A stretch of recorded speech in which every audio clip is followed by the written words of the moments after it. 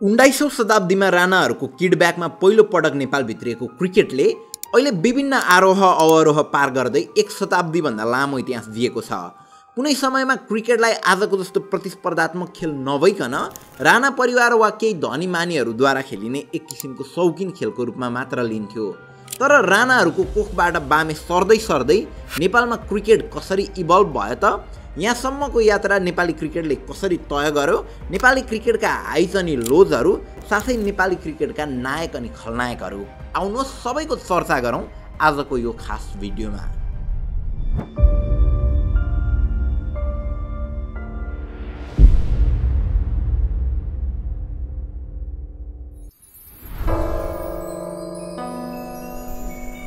सोह्रौँ शताब्दीमा इङ्ल्यान्डको एउटा गाउँमा बच्चाहरू खेल्दा खेल्दै जन्म भएको क्रिकेटले सत्रौँ शताब्दी आइपुग्दासम्म एडल्ट गेमको रूप लिइसकेको थियो। बिस्तारै क्रिकेट पनि इभल्भ हुँदै थियो र यसमा चाहिने नियमहरू पनि एक पछाडि अर्को गर्दै बनिँदै थिए। सुरुवातबाट नै क्रिकेटमा इङ्ल्यान्डको दबदबा रहेको कारणले ब्रिटिस शासकहरू जता जता पुगे क्रिकेटलाई पनि त्यता त्यतै डोर्याएर लगे। जब उन्नाइसौँ शताब्दीताका भारतमा ब्रिटिस राज थियो तब ब्रिटिस सँगसँगै नजिक रहेका नेपाली राणा शासकहरूले क्रिकेटलाई नेपालमा सन् उन्नाइस सय बिसतिर भित्र्याए। मदन शमशेर जबरा जो राणा प्रधानमन्त्री महाराज चन्द्र शमशेर जबराको कान्छो पुत्र थिए उनले नै नेपालमा क्रिकेट भित्र्याएको मानिन्छ। विगत कालदेखि नै क्रिकेटलाई जेन्टलमेन्स गेम भनेर चिनिन्छ। क्रिकेटलाई जेन्टलमेन्स गेम भन्नुको पछाडि पनि एउटा क्लास सिस्टम रहेको थियो जुन त्यति बेलाको अङ्ग्रेज शासकहरूको बिम्ब थियो। क्रिकेट खेल राजा महाराजा र केही सोखिन व्यक्तिहरूले मात्र खेल्ने भएको कारणले उनीहरूले खेलेको खेललाई जेन्टलमेन्स गेम भन्न रुचाउँथे। धेरै पछाडि मात्र क्रिकेट एउटा स्पिरिटका साथ खेलिन्छ भन्ने न्यारेटिभ बनाएर cricket is a gentleman's game भनेर पपुलराइज गरियो। त्यही अङ्ग्रेज मानसिकता नेपाली राणा शासकहरूमा पनि थियो। यसर्थ क्रिकेट सुरुवातमा राणा परिवारका सदस्य र माननीय घर परिवारका सदस्य बिचमा मात्र सीमित रह्यो। सुरुवातका दिनहरूमा काठमाडौँको टुडिखेल र गौचरण क्रिकेटको थलो भएको थियो। यी दुई चौर बाहेक क्रिकेट खेलका लागि अरू कुनै पनि विकल्प थिएन। केही समय नेपालमा क्रिकेट यसरी क्लोज सर्कलमा मात्र सीमित रह्यो तर क्रिकेटको विकास र क्रिकेटको भविष्य सुनिश्चित गर्ने हेतुका साथ विक्रमसम्म दुई हजार तिन यानि कि सन् उन्नाइस सय छ्यालिस एडीमा क्रिकेट एसोसिएसन अफ नेपाल क्यानको स्थापना गरियो। क्यानको स्थापना भएको बाह्र वर्ष पछाडि मात्र राष्ट्रिय खेलकुद परिषदको स्थापना भयो र त्यसकै दुई वर्षमा क्रिकेट राष्ट्रिय खेलकुद परिषदमा सम्मानन भयो। परिणामस्वरूप क्रिकेट खेल काठमाडौँका विभिन्न क्षेत्रहरूमा खेल्न थालियो र लोकल लेभलका टुर्नामेन्टहरू पनि काठमाडौँभित्रै आयोजना हुन थाले। भौतिक पूर्वाधार सूचना प्रविधिको माध्यम यातायात आदिको कारणले गर्दा काठमाडौँ जिल्ला बाहेक बाहिर क्रिकेट विकसित हुन सकेको थिएन। तर पनि तराईका केही क्षेत्रहरूमा भने भारतको प्रभावको कारण काहीँ कतै क्रिकेट खेल्दै गरेको देखिन्थ्यो। सन् उन्नाइस सय अस्सी पछाडि भने क्रिकेट बिस्तारै काठमाडौँ बाहेकका नेपालका विभिन्न भूभागहरूमा फैलन थालेको थियो। यही क्रममा नेपालले सन् उन्नाइस सय अठासीमा पहिलोपटक आइसिसीको एफिलिएट मेम्बरसिप पायो। त्यस पछाडि भने नेपालका केही ठाउँहरूमा जिल्ला स्तरीय प्रतियोगिता तथा रिजनल स्तरका प्रतियोगिताहरू हुन थाल्यो र विद्यालयमा पनि क्रिकेटको विकास हुँदै गयो। अब बिस्तारै क्रिकेटले नयाँ मोड लिँदै थियो फड्को मार्दै थियो। सन् उन्नाइस सय अस्सीदेखि सन् उन्नाइस सय नब्बे बिचको एक दशकमा क्रिकेटप्रतिको रुचि एकदमै तीव्र रूपमा विकास हुँदै गयो। फलस्वरूप सन् उन्नाइस सय नब्बेमा नेपाल एसियन क्रिकेट काउन्सिलको एसोसिएट मेम्बर भयो भने त्यसको चार वर्ष पछाडि नेपाल एससिसीको फुल मेम्बर नै बन्यो। र त्यसको दुई वर्ष पछाडि भने नेपाल आइसिसीको एफिलिएट मेम्बरबाट एसोसिएट मेम्बरमा बढुवा भयो। र त्यस पछाडि मात्र टियु इन्टरनेसनल ग्राउन्डले अहिलेको स्वरूप पायो। अब नेपाली क्रिकेटर्सहरूले नेपालमा मात्र होइन अन्तर्राष्ट्रिय स्तरमा पनि सहभागिता जनाउन चाहन्थे। सन् उन्नाइस सय छ्यानब्बेमा नेपालले पहिलोपटक अन्तर्राष्ट्रिय प्रतियोगितामा सहभागिता जनायो। नेपालका प्रथम क्रिकेट कप्तान उत्तम कर्मचारीको नेतृत्वमा नेपालले एससिसी ट्रफीमा सहभागिता जनायो जुन मलेसियामा आयोजना भएको थियो। नेपालले उक्त प्रतियोगितामा जापान र ब्रुनाईलाई पराजित गर्दै टेबलको चौथो स्थानमा आउन सफल भएको थियो। त्यसको दुई वर्ष पछाडि सन् उन्नाइस सय अन्ठानब्बेमा नेपालले आफै एसिसी ट्रफी आयोजना गर्दै थियो यो नेपालले आयोजना गरेको पहिलो अन्तर्राष्ट्रिय प्रतियोगिता थियो। नेपालले उक्त प्रतियोगिता पुच्चोकको क्रिकेट मैदान टियु ग्राउन्ड र सेन्ट जेभियसको ग्राउन्डमा आयोजना गरेको थियो। उक्त प्रतियोगितामा दर्शकहरूको सहभागिताले जनाउँदै थियो कि अब नेपाली क्रिकेटले उज्जवल भविष्यको यात्रा गर्दैछ। त्यसपछि सन् दुई हजारमा नेपालको अन्डर नाइन्टिन टिमले अन्डर नाइन्टिन विश्वकपमा सहभागिता जनायो। त्यस प्रतियोगितामा नेपालले पहिलो चरण पार गरी दोस्रो चरणमा समेत पुग्न सफल भएको थियो। तर दोस्रो चरणमा भने बलियो मानिएको भारत पाकिस्तान अस्ट्रेलिया जस्ता देशहरूसँग पराजित हुनु पर्यो। नेपालसँग भिडेको इन्डियन टिममा युवराज सिंह पाकिस्तानी टिममा सोएब मलिक र अस्ट्रेलियन टिममा माइकल क्लर्क जस्ता खेलाडीहरू थिए। उक्त प्रतियोगितामा नेपालले त्यो लेभलका खेलाडीहरूसँग खेल्ने अवसर पाए सँगसँगै एउटा प्रतिभाशाली खेलाडीलाई जन्माएको थियो जसको नाम थियो विनोद दास। पछि गएर विनोद दासले नेपाली क्रिकेटको नेतृत्व गरे र आजको दिन पनि विनोद दास नेपाली क्रिकेट टिमको म्यानेजरको रूपमा काम गरिरहेका छन्। त्यो अन्डर नाइन्टिन वर्ल्ड कपमा राम्रो छाप छाडेर आएको नेपालले त्यस पछाडिका केही अन्डर नाइन्टिन वर्ल्ड कपहरू खेल्ने अवसर पाइ नै रह्यो। दुई हजार दुईको अन्डर नाइन्टिन वर्ल्ड कपमा नेपालले अन्डर नाइन्टिन पाकिस्तानी टिमलाई हरायो जहाँ सलमान बट अनि उमेर गल जस्ता खेलाडीहरू थिए। दुई हजार चारको अन्डर नाइन्टिन वर्ल्ड कपमा नेपालले साउथ अफ्रिकन अन्डर नाइन्टिन टिमलाई हरायो जहाँ साउथ अफ्रिकाको टिममा उनीहरूको भुपु टेस्ट क्याप्टेन डेल एल्गर जस्ता खेलाडीहरू थिए। त्यस्तै दुई हजार छको अन्डर नाइन्टिन विश्वकपमा नेपालले न्युजिल्यान्डको अन्डर नाइन्टिन टिमलाई हरायो जहाँ मार्टिन गप्तेल अनि टिम साउदी जस्ता खेलाडीहरू थिए। अन्डर नाइन्टिन विश्वकप जस्तै प्रतियोगिताहरूले नेपाललाई पारस खड्का शक्ति गौतम वसन्त रेग्मी शरद विश्वाकर अनि ज्ञानेन्द्र मल्ल जस्ता युवा खेलाडीहरू दिएको थियो जसको आगमनले नेपाली फ्यानहरूलाई एउटा सपना देखाउँदै थियो।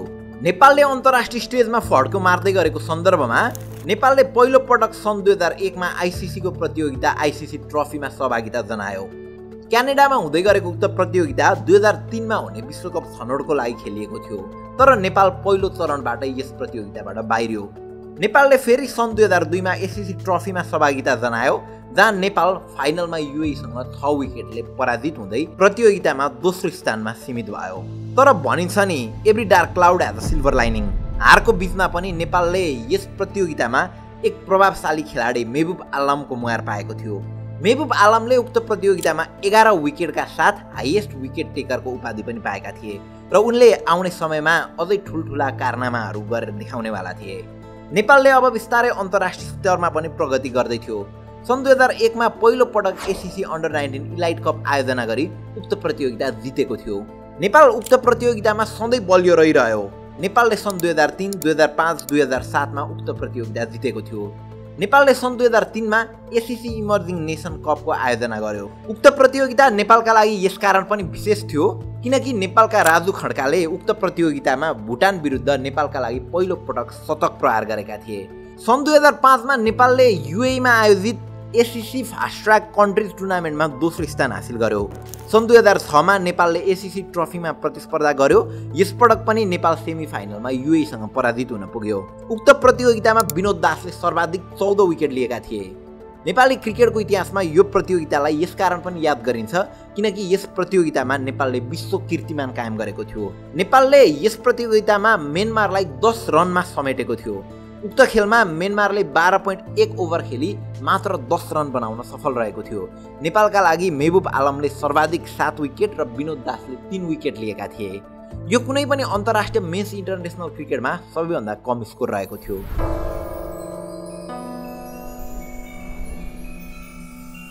आज पनि नेपाली क्रिकेटमा नेपालको आजको यो सफलता ICC world cricket league division पाँचदेखिको सङ्घर्षले ल्याएको सफलता हो भन्ने गरेको सुनिन्छ। र यो कुरा एकदमै जायज कुरा पनि हो। नेपालले पहिलो पटक यो प्रतियोगिता सन् दुई हजार आठमा खेल्यो। यो प्रतियोगिता यस ढङ्गले राखिएको हुन्छ कि शीर्ष दुई टिम अगाडिको डिभिजनका लागि प्रमोटेड हुने गर्छन् भने पुछारका दुई टिमहरू फेरि अघिल्लो प्रतियोगिताका लागि रेलिगेटेड हुने गर्छन्। सन् दुई हजार आठमा नेपालले खेलेको डिभिजन पाँचमा नेपाल तेस्रो स्थानमा आयो जहाँ नेपाल सेमी फाइनलमा अफगानिस्तानसँग पराजित भएको थियो। तसर्थ नेपालले अर्को पटक पनि फेरि त्यही डिभिजनको लिग खेल्नुपर्ने भयो।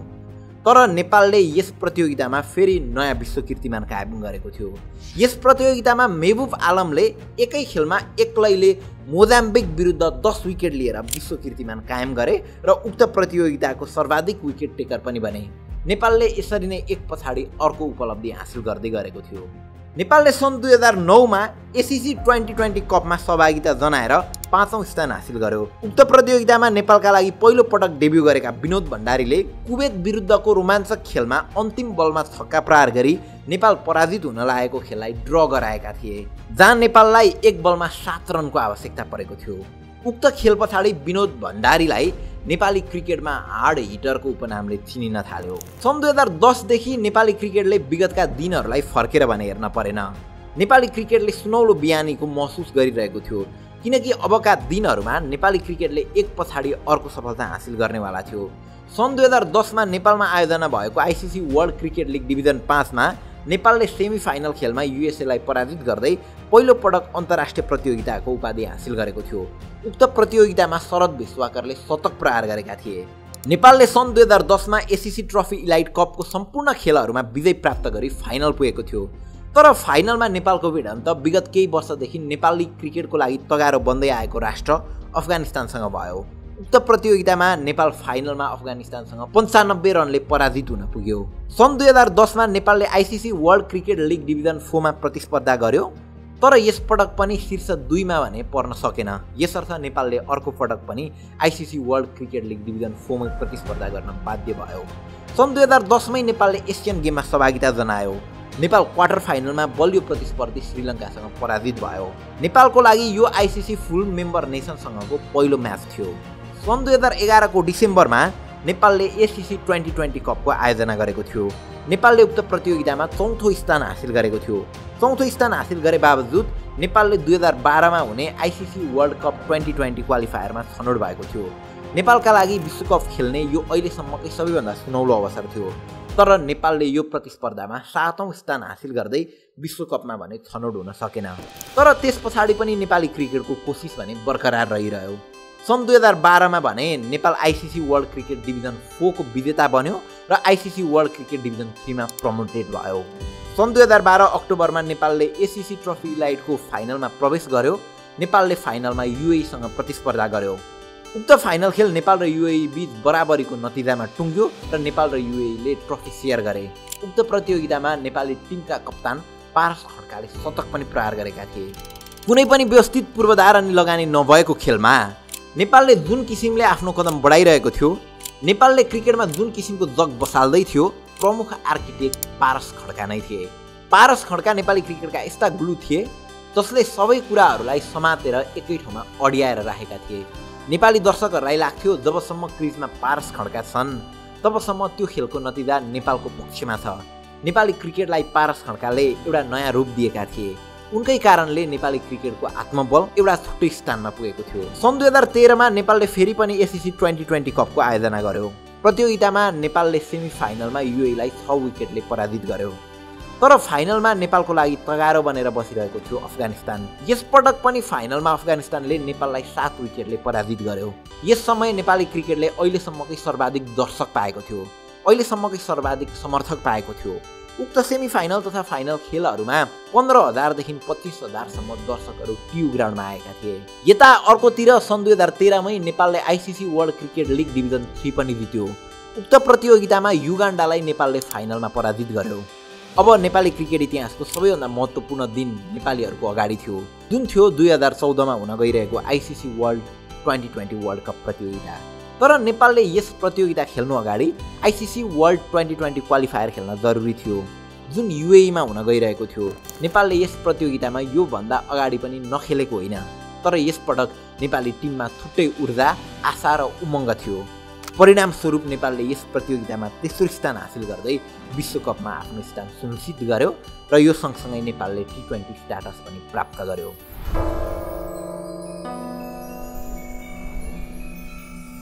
नेपालको अबको टार्गेट थियो ICC T twenty world cup दुई हजार चौध। सबै नेपालीहरूलाई आशा थियो नेपालले उत्कृष्ट खेल पस्कने छ भनेर। नेपाली दर्शकको आशालाई कायम राख्दै नेपालले पनि आफ्नो पुरानो राइबल अफगानिस्तानलाई विश्वकपमै पराजित गरिदियो। विदेशी कमेन्टेटरहरू एक आपसमा शक्ति गौतमको चर्चा शक्ति मिन्स पावर भन्दै गर्दै थिए।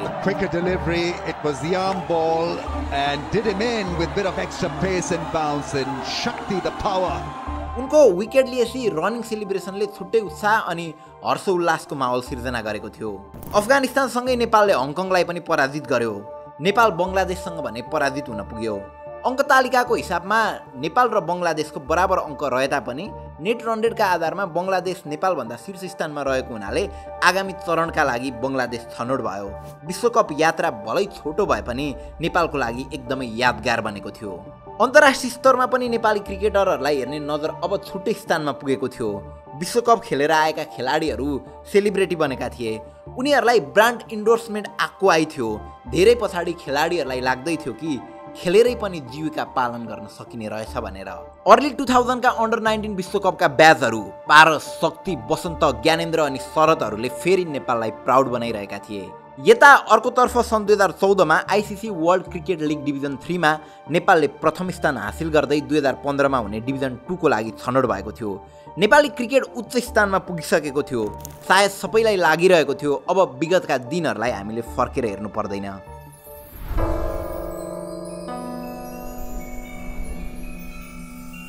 दुई हजार चौध टी ट्वेन्टी विश्वकप पछाडि भने आगामी दिनहरू नेपाली क्रिकेटरहरूका लागि त्यति सम्झना लायक रहेनन्। नेपाली क्रिकेटमा आन्तरिक रूपमा काहीँ कतै केही समस्याको गन्ध आइरहेको थियो। नेपाली क्रिकेट उकालो भन्दा पनि कतै उरालो पो लाग्ने हो कि भन्ने अवस्था आइसकेको थियो। खेलाडीहरू मात्र भन्दा पनि राजनीतिक अस्थिरता क्रिकेट एसोसिएसन अफ नेपाल क्यानमा भएको राजनीतिक गतिविधि तथा विभिन्न भौतिक पूर्वाधारका विकास खेलाडीलाई सुविधा दिनेदेखि लिएर क्रिकेटरका लागि आवश्यक पर्ने कुराहरूमा कुनै पनि क्षेत्रमा सम्बन्धित निकायले चासो नदेखाएको कारणले नेपाली क्रिकेट बिस्तारै ओझेल पर्दै थियो। परिणामस्वरूप सन् दुई हजार पन्ध्रमा आयोजना भएको आइसिसी वर्ल्ड लिग डिभिजन टूमा नेपाल चौथो स्थानमा आयो र डिभिजन वानको लागि छनौट हुन सकेन। अर्कोतर्फ सन् दुई हजार पन्ध्रमै भएको आइसिसी वर्ल्ड कप क्वालिफायरमा नेपाल सातौँ स्थानमा आयो। नेपाल यसपटक विश्वकप खेल्नबाट चुक्यो। लगत्तै नेपालले पाएको टी ट्वेन्टी स्ट्याटस पनि सँगै गुम्यो। सन् दुई हजार सोह्र अप्रिलमा क्रिकेट एसोसिएसन अफ नेपाल क्यानलाई आइसिसीले निलम्बन गर्यो। उक्त समय पछाडि डार्क फेज अफ नेपाली क्रिकेटको सुरुवात भयो। क्रिकेट एसोसिएसन अफ नेपालभित्र भ्रष्टाचारको आरोप लाग्नुको साथसाथै क्यानभित्र भएका फाइनेन्सियल मिसम्यानेजमेन्ट र आइसिसीसँगको प्रतिबद्धताहरू उल्लङ्घन गरेको हुनाले आइसिसीले उक्त निर्णय लिन बाध्य भएको थियो। यता क्यानले भने आइसिसीबाट आएका फन्डिङहरूलाई मिसम्यानेजमेन्ट गर्नुको साथै ट्रान्सप्यारेन्सी दिन नसकेको कारणले गर्दा आइसिसीले नेपालको फन्डिङमाथि पनि रोक लगाएको थियो। यस्तो अवस्थामा खेलाडीहरूलाई न त खेल खेल्नका लागि आवश्यक पर्ने सुविधा नै थियो न त उत्कृष्ट मासिक तलब नै। यो त भयो एउटा पाटो। अर्कोतर्फ क्यानभित्र पोलिटिकल इन्टरफेरेन्स भइरहेको थियो। यसले गर्दा खेलकुदको विकासमा भन्दा पनि पदका लागि प्रतिस्पर्धा हुन थालेको थियो। क्रिकेटको विकास हुनु त फरक कुरा हो। यहाँ त क्रिकेट खेलाडीहरू विदेशी नै क्रम बढ्दै थियो। उक्त समयमा नेपालका कैयौँ खेलाडीहरू विदेशी पनि तिनै मध्येका वसन्त रेग्मी अहिले अमेरिकामा बसोबास गर्दैछन्। त्यति मात्र होइन त्यतिखेरको परिस्थितिले गर्दा कैयौँ खेलाडीहरूको क्रिकेटिङ करियर नै अन्त्य भयो। राष्ट्रको लागि खेले तापनि राष्ट्रबाट कुनै प्रकारको प्राथमिकता नपाएको कारणले खेलाडीहरूमा निकै निराशा थियो। खेलाडीहरूले क्रिकेटलाई उकास्ने कोसिस त गरिरहे तर पनि खेलकुदको वातावरण नभएका कारणले गर्दाखेरि नेपाली क्रिकेट पछि परेको परै गऱ्यो।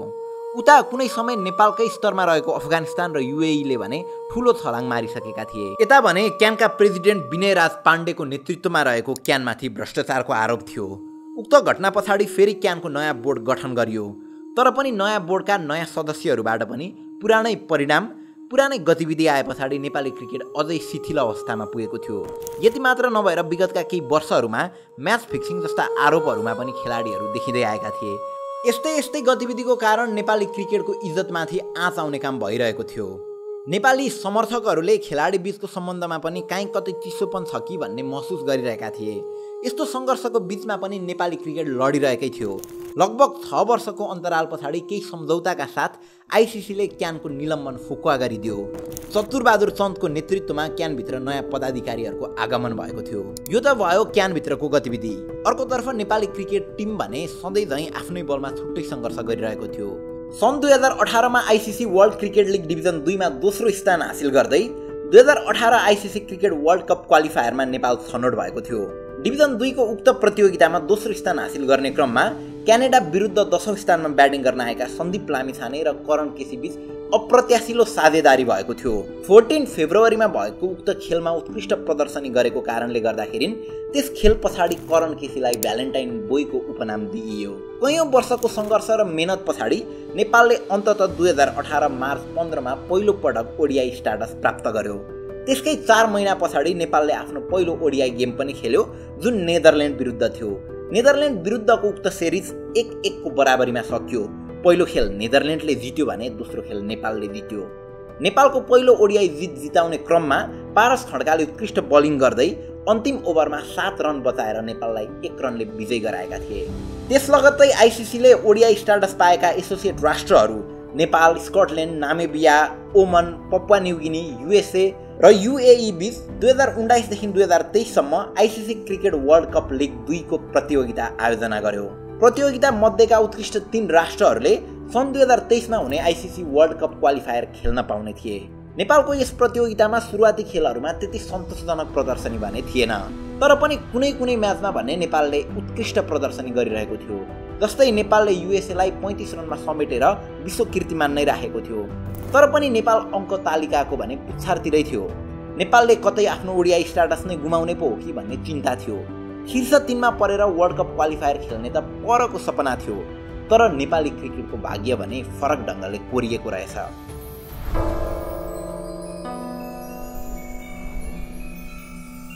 यस वर्ष दुई हजार तेइस जनवरी पन्ध्रमा नेपाली क्रिकेटले एउटा नयाँ अभिभावक पायो जसको नाम थियो मन्टी देसाई। देसाईको आगमनसँगै सबै कुरा फेरियो। नेपालले उक्त प्रतियोगितामा मात्र बाह्र खेल खेल्न बाँकी थियो। नेपालले आफ्नो ओडिआई स्ट्याटस बचाउनका निम्ति शीर्ष पाँचमा पर्न आवश्यकता थियो भने अझ त्यो वर्ल्ड कप क्वालिफायरमा प्रवेश गर्नका निम्ति शीर्ष तिनमा पर्नै पर्ने थियो जसका निम्ति नेपालले आउने बाह्र खेलमध्ये एघार खेल जित्नै पर्ने दबाब थियो। देसाईको आगमन पछाडि नेपाली क्रिकेटमा नयाँ ऊर्जा थपियो। खेलाडीको आत्मविश्वास तथा खेललाई हेर्ने दृष्टिकोण नै परिवर्तन भयो। युवा कप्तान रोहित पौडेलको नेतृत्वमा रहेको राष्ट्रिय टोलीले अप्रत्याशिलो रूपमा बाह्र खेलमध्ये एघार खेल जित्न सफल भयो। जुन फर्केर हेर्दा एउटा सपना जस्तो लाग्छ। नेपालले बलियोभन्दा बलियो मानिएका स्कटल्यान्ड युए जस्ता राष्ट्रहरूलाई सजिलै पराजित गर्यो। दशकौँदेखि नेपालको समस्या बन्दै आइरहेको नेपालको ब्याटिङ लाइनअप यसपटक भने निकै नै उत्कृष्ट ढङ्गले परिवर्तन भएको थियो। नेपालले अब छिट्टै नै वर्ल्ड कप क्वालिफायर खेल्दैछ। नेपालको प्रदर्शनी यस्तै रहने हो भने नेपालले अब केही वर्षमा विश्वकप नखेल्ला भनेर भन्न सकिँदैन। त्यस्तै धेरै पछाडि यो पटक नेपालले एसिया कप पनि खेल्दैछ। नेपालमा भइरहने PM cup EPL DPL PPL जस्ता खेलहरूमा समेत नयाँ नयाँ खेलाडीहरूले उत्कृष्ट प्रदर्शनी गरिरहेका छन्। अहिले राष्ट्रिय टोलीमा पर्नका निम्ति निकै प्रतिस्पर्धा गर्नुपर्छ। यो बिचमा नेपालका खेलाडीहरूले एक पछाडि अर्को गर्दै विश्व कीर्तिमान नै बनाउँदै आएका छन्। हालसालै सन्दीप लामिछाने ओडिआई क्रिकेटमा सबैभन्दा कम खेलमा सय विकेट लिने फास्टेस्ट खेलाडी बनेका छन्। त्यस्तै गरी कुशल मल्ल सबैभन्दा कम उमेरमा अर्धशतक बनाउने खेलाडी बनेका थिए। सन्दीप लामिछाने कुशल मल्ल र पारस खड्काले त विभिन्न अन्तर्राष्ट्रिय फ्रेन्चाइजमा समेत आफ्नो कौशलता देखाइरहेका छन्। अझ आइपिएलमा सन्दीपको प्रदर्शनीले सबै दर्शकमा थपेको हौसला त झन् पुरै नगरौँ। विगतका केही दशकदेखि आजको दिनसम्म हेर्ने हो भने नेपाली क्रिकेट अहिलेसम्मकै सबैभन्दा उच्च स्थानमा छ। अहिलेको समयमा राष्ट्र टोलीले समर्थकको उत्तिकै साथ पाएको छ। ब्रान्ड्सहरू बिच खेलाडीलाई आफ्नो एम्बासेडर बनाउने होडबाजी नै चलिरहेको छ। तर खेलाडीहरूले राम्रो प्रदर्शनी गरिरहँदा सधैँ सबै कुरा ठिक भए जस्तो देखिन्छ। तर अझै पनि भित्री रूपमा नेपाली क्रिकेट खोक्रो छ। दुर्भाग्यको कुरा के छ भने राष्ट्रिय खेलाडीहरूले जुन स्तरको सेवा सुविधा मासिक तलब पाउनुपर्ने थियो आवश्यकताभन्दा त्यो निकै कम छ। अझै पनि क्रिकेटमा भौतिक पूर्वाधारहरूको विकास भएको छैन। विगत पच्चिस तिस वर्षदेखि नेपाली खेलाडीहरूले त्यो टियु इन्टरनेसनल ग्राउन्डभन्दा अरू कुनै राम्रो पिच पाउन सकेका छैनन्। त्यसमा पनि नराम्रो पभिलियन छ न त साँझका लागि राम्रोसँग फ्लड लाइटको व्यवस्था नै गरिएको छ। गौतम बुद्ध अन्तर्राष्ट्रिय स्टेडियमको एउटा आशा पलाए तापनि अहिले बिचमा आएर उक्त काम ठप्प भएको छ। यता मूलपानी क्रिकेट ग्राउन्डमा बल्ल बल्ल यो पटक गेम भयो। हाम्रो स्थानमा रहेको अफगानिस्तान आज हामीभन्दा निकै अगाडि बढिसकेको छ तर हाम्रो अवस्था जाँ त्यही नै छ। यदि नेपाललाई क्रिकेट मार्फत विश्वमा चिनाउने हो भने एउटा नयाँ भिजनका साथ नयाँ प्लानिङका साथ नेपाली क्रिकेटलाई अगाडि लिएर जान जरुरत छ। नेपालका पूर्व कप्तान पारस खड्का र पूर्व खेलाडी शक्ति गौचनले आफै क्रिकेट एकाडेमी खोलेर नयाँ क्रिकेटरहरूको उत्पादन गर्दै आइरहेका छन्। जसमध्ये कुशल मल्ल पनि शक्ति गौतमकै क्रिकेट एकाडेमीका एक उत्पादन हुन्। व्यक्तिगत स्तरमा मात्र नभएर राष्ट्रले पनि खेलाडीहरूलाई उनीहरूको भविष्य सुनिश्चित गर्नका लागि एउटा दरिलो आधार कायम गरिदिन आवश्यक छ। अहिलेको अवस्थामा नेपालको खेललाई मध्यनजर गर्दै नेपालको भविष्य हेर्ने हो भने नेपालले अब आगामी केही वर्षहरूमा नै टेस्ट मान्यता पाउँछ कि भन्ने आशा पलाएको छ। अहिले राष्ट्रिय टोलीमा रहेका खेलाडीहरू प्राय तेइस वर्षभन्दा कम उमेरका छन्। यदि उनीहरूलाई एउटा मार्गदर्शनका साथ अगाडि लिएर लाने हो भने नेपालले फुल मेम्बरसिप भएका राष्ट्र इन्डिया अस्ट्रेलिया इङ्ल्यान्ड जस्ता राष्ट्रसँग खेल्ने मात्र होइन उनीहरूलाई नै पनि हराउन सक्छ। विभिन्न अन्तर्राष्ट्रिय फ्रेन्चाइजमा करोडौँ करोडमा खेलाडीहरू आबद्ध भई देशमा राम्रो पुँजी पनि भित्राउन सक्छन्। यसका निम्ति खेलाडीले जितेको बेला मात्र होइन हारेको बेला पनि दर्शकहरूले हौसला दिन आवश्यक छ। खेलाडीहरूले पनि विभिन्न कन्ट्रोभर्सीमा आउने भन्दा पनि मर्यादामा रहेर खेल खेल्न आवश्यक छ। ब्रान्ड्सहरूले पनि सीमित खेलाडीलाई मात्र नभइकन सबै खेलाडीहरूलाई समान रूपमा ट्रिट गर्न आवश्यक छ। क्यानले सबैभन्दा बढी पारदर्शिता देखाउन आवश्यक छ र खेलाडीहरूलाई अभिभावकको भूमिका निर्वाह गरिदिन आवश्यक छ। अनि सरकारले भने कहिलेकाहीँ म्याच हेर्न जाने हौसला दिने त छँदैछ। त्यो बाहेक खेलाडीहरूलाई यही क्षेत्रमा निर्धक्कसँग पेट पाल्न सक्ने अवस्था बनाइदिन आवश्यक छ र पूर्वाधारको विकासमा त झन् अहिलेदेखि नै ध्यान दिन आवश्यक छ। अनि त घर घरमा पारस खड्का सन्दीप लामिछानेको जन्म हुन्छ। हस्त थ्याङ्क यू फर वाचिङ